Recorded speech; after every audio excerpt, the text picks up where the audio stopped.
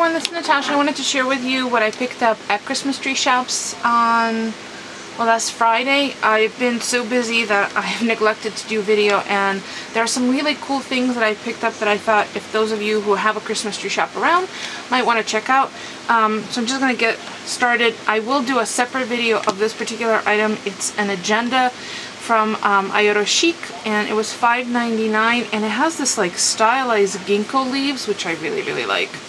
So it's a um, perpetual one so you fill in your own date.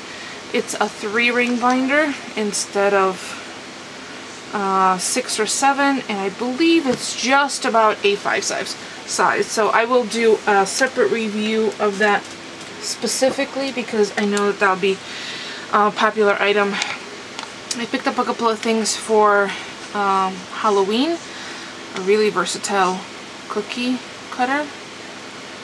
It's $1.99 from Wilton, marked down. And then in the Christmas, or in the Christmas, Halloween, Halloween. Uh, these are little memo pads. They're so cute. Me just open it up so you could see it.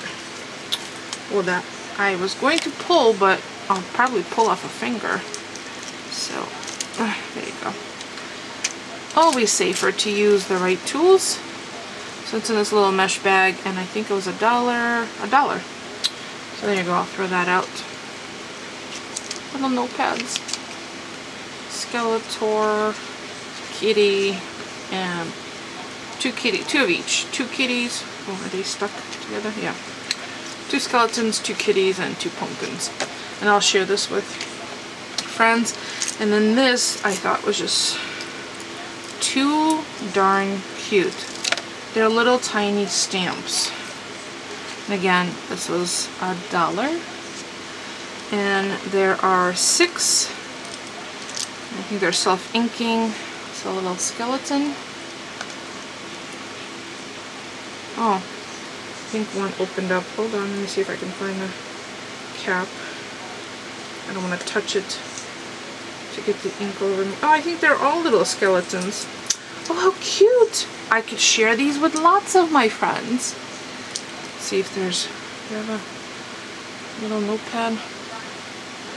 Why is it you don't have paper when you need it? Well, you get the idea. So they're all little skeletons. So I got two container, two packages of those. Are they all skeletons? They must be. Yeah, they're all little skeletons, but they're cute. So I have um, 12 to share with friends.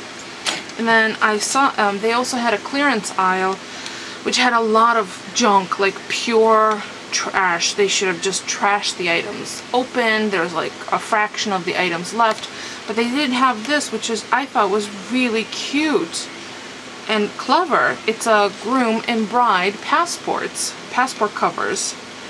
So they were marked down from $4.99 to $2.99. And they had a lot of them, but it's the only one that was closed. So, I'm kind of, I mean, this would make a really nice, um, you know, a, a gift for, just a little nifty gifty for a bride. So that was cute. I got that. And then I picked up two boxes of this. It's uh, Gartner invitation kits. As you see, they were marked down from $9.99 to $3.99 and I picked up two that were still closed. They had several others, one of which I really, really wanted. It was all black motif, so it had black envelopes, but it was trash. The box was ripped, stuff was all over the um, the aisle. I just, and I was, I shopped in um, eight minutes because the store was closing. so I did like power shopping. I knew specifically what I wanted to go get, um, which I will share with you in a minute, but then I walked through the uh, clearance aisle, so these are still sealed. And it includes invitations, uh, replies, really pretty ribbons, and envelopes. So, can't go wrong with that. For $4, I even if it, you know, it's a cost of 25 envelopes. So I got two boxes of those. I'm just put this on the floor so I can have more room. And then from their uh, food aisle, I picked up uh, some more of my Darjeeling tea, which I love. It's only $2.19 there. And a bag of pretzel crisps, which I love to have as snacks. They're zero fat. And I did pick up two of the following, one of which never survived to get to the house. So these are Nutella to go. They have little uh, slightly sweet breadsticks on one side and Nutella dip on the other. And then the Nutella dip, it doesn't go all the way down. It goes about here so you don't, so your sticks don't get lost. When they were packed, they were packed along in the same bag with one of these and the uh, letters from the metal stands poked through and ruined one of them. So this one's going to my hubby tomorrow for work. Then I picked up these um, little stands. It says live, laugh, and love. And they were in the clearance aisle. They were originally $1.49 and they are in uh, black um, matte finish. They were 75 cents each. So I picked these three up because you can also hang them. So I'm thinking I might use this as a little display in the living room. I have a, a wall that will fit all three of them in a row nicely and then I can swap out pictures because it's a nice uh, depth. So that was 75 cents each. And then from the cosmetic area, I picked up this pack of aloe vera cleansing tissues and boy am I glad I did that. Let me just lower the camera and I'll show you something. And if you follow me on uh, Facebook or Instagram, you will have already seen this. I, I, I was a complete dork and I grabbed a pot that just came out of the oven by the handle and I grabbed one of these and wrapped it around my fingers where I grabbed it. I missed one spot right here and that's where the blister formed. The rest of my hand is perfectly fine. So the aloe vera uh, really helped with that burn. I did run under cold water immediately, but and these are also really nice to kind of keep in your car. Um, but I'm going to use them up. They were 30 and they were $1.29, so I did like these a lot. And they're from um. -E. So they just open up like this and reseal.